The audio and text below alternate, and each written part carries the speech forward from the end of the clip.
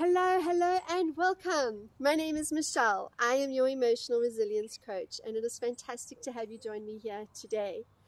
If you are sick and tired of being sick and tired, if you are feeling that you are not making progress in your healing journey, that you're not getting where you want to go, that you're not seeing the results that you're looking for, you're looking around and you're thinking, well, you know, this person, they said do X and I've done X and it's not working. And this person, they've said do this and I've done this and it's not working. And I've read all the books and I've been on all the websites and I've looked at all the videos and I've taken all the courses and I'm struggling.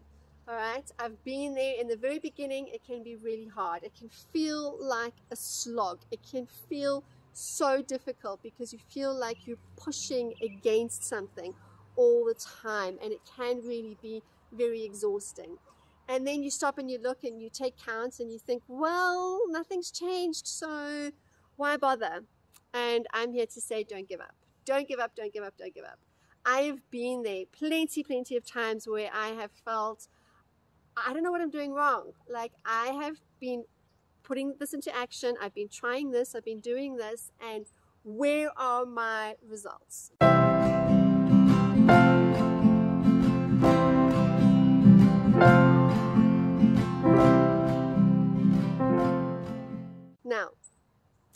I am very destination focused. I am very end results orientated. And I am learning to appreciate the process of becoming. I'm learning to appreciate the beauty of going through the process. But the trick here is to stick to it and go with the process. Take it slowly, as slowly as you need to. And on those days where you feel like you've taken one step forward and two steps back, that's okay. Just think about the seeds that you are planting. Think about what it is that you are going through, what difference it is that you're making.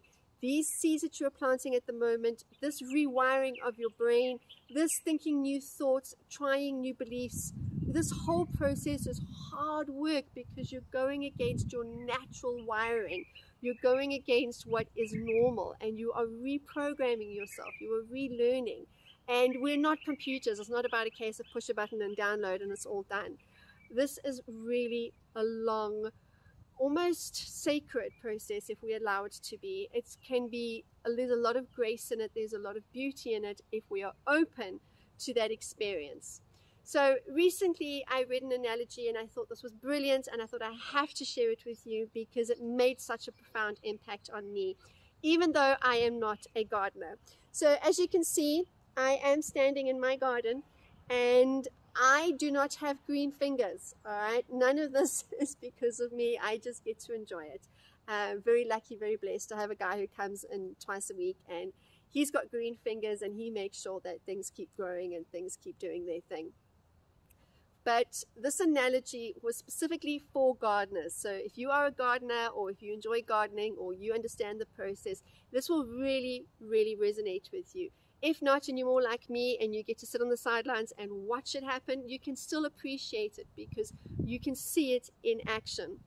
So if you are going to be planting a fruit tree, all right, we're going to put the seeds in, they're going to nourish the soil, do whatever it is that needs to be done and we're not going to see the tree the next day, right? We're not going to see the tree the next week. We're not going to see the tree for a while. And the analogy that she used was the first year it sleeps, the second year it creeps, and the third year it leaps.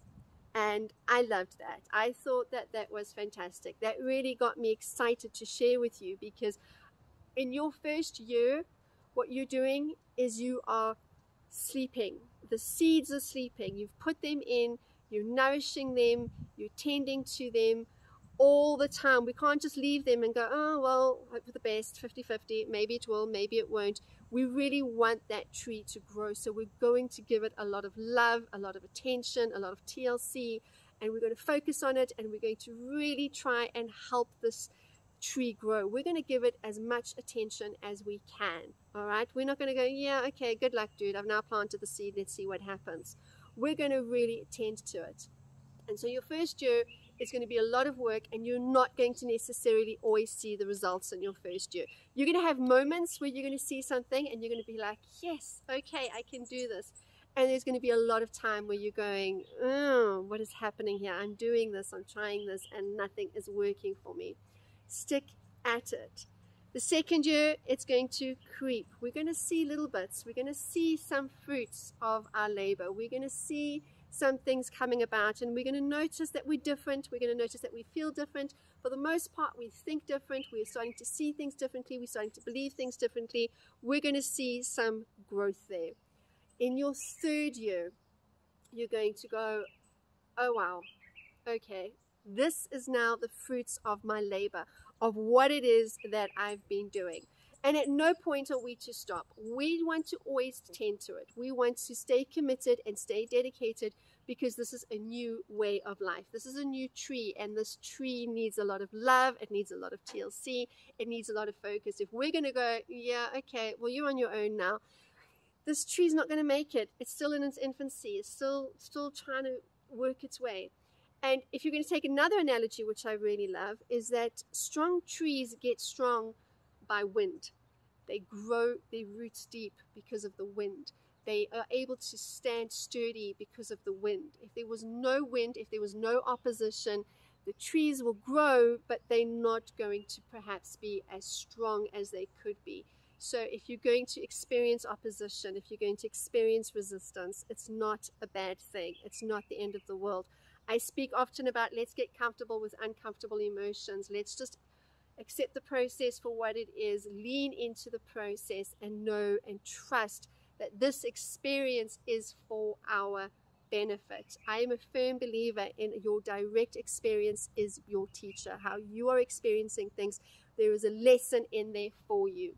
And just think in the very beginning, while it sleeps, the roots are working. All right, the roots are going down. The roots are trying to take hold. The roots are trying to still anchor themselves. It's still so new and it's a baby. And what we want to do is we want to love it and we want to protect it and we want to look after it just like a baby.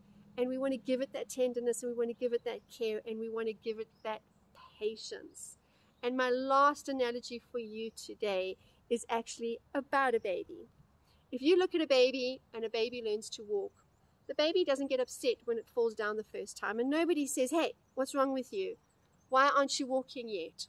We trust and we respect and we accept that it is a process. And the baby accepts that too.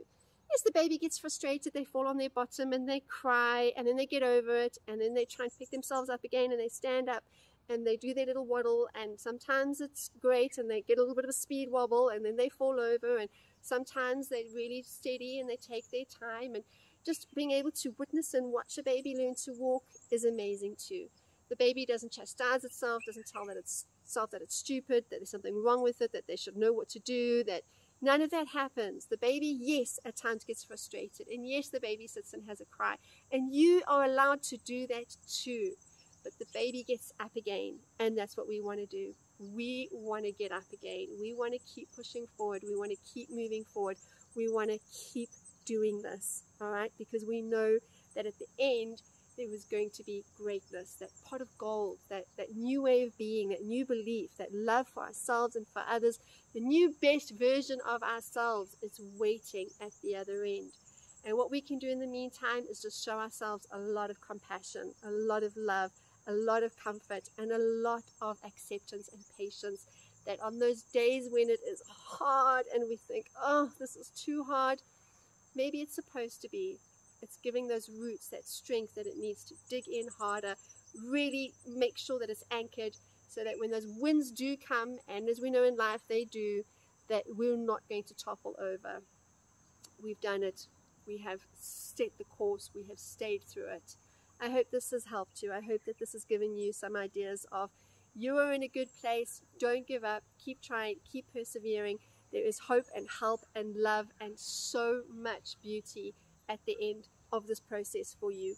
If you believe in God or a higher being, trust Him through it. Have faith in Him that He is going to help you get to the other side of this, that you're not doing it alone, and that you are going to, at the end of the day, turn around and see that all of this growth, all of this pushing through, all of this growing is for your benefit. It is for your strength. I hope that this helps you. I hope that you are able to learn something today. Uh, do let me know in the comments. Come on over to Instagram. Uh, let me know how you're doing. Let me know your thoughts at Emotional Resilience Coach. I always love to chat to you. There's an amazing community of people there that really help each other, love each other, and support each other through this process.